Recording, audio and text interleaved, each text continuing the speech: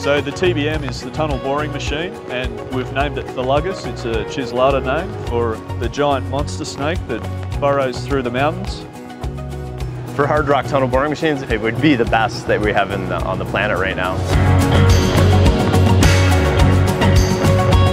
The first tunnel that we have has been operating very well and served us well over 60 plus years. So we're in the process at the moment of completing a second tunnel.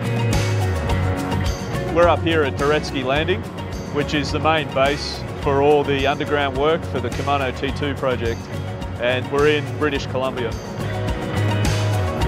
A tunnel boring machine is essentially a machine that excavates the rock, puts it onto the conveyor and passes it out, and it gets carried out to the surface.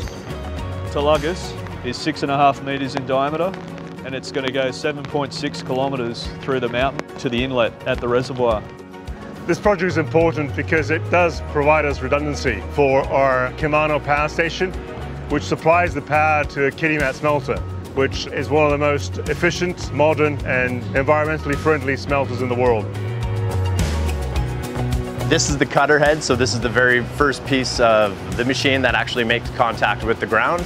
This cutter head itself has 39 rolling disc cutters, which basically as the machine is propelled forward, it turns the cutter head through the drive motors, and basically what that establishes is pressure enough to cut rock. After seeing it through the approval process, to come here and see the TBM being assembled is a great milestone.